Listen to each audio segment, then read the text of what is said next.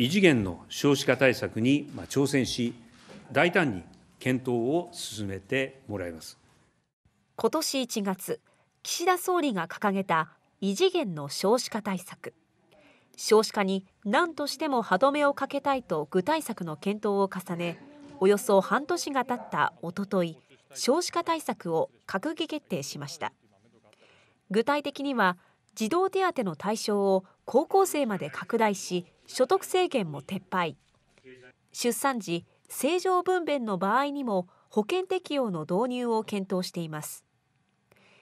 また保育サービスについては保育士の配置基準の見直しや親の就労を問わずに時間単位などで誰でも保育園を利用できるように。その他共働き世帯の支援として男性の育休取得率を2030年までに85%を目指すことや両親ともに一定期間育休を取得した場合には手取りをおよそ100%にするなどの少子化対策を盛り込みました。町の子育て世帯は頑張ってくれてるんだろうなっていうのはすごいわかるんですけどちょっと的を得てないところもあったりして働きに出ていっても結局フルで働けないからその分所得は下がるしちっちゃいうちから保育園に入れたりとかでやっぱり保育園のお金とかもかかってきちゃうから、まあ、そういうところにも力をもうちょっとね入れてほしいなっていうのはありますね。本当はねあの23人産みたい気持ちはあるけど本当1人で精一杯評価すべきかもしれないですけど問題これだけじゃないので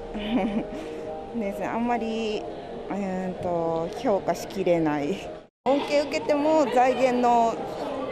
将来の不安があると思うので。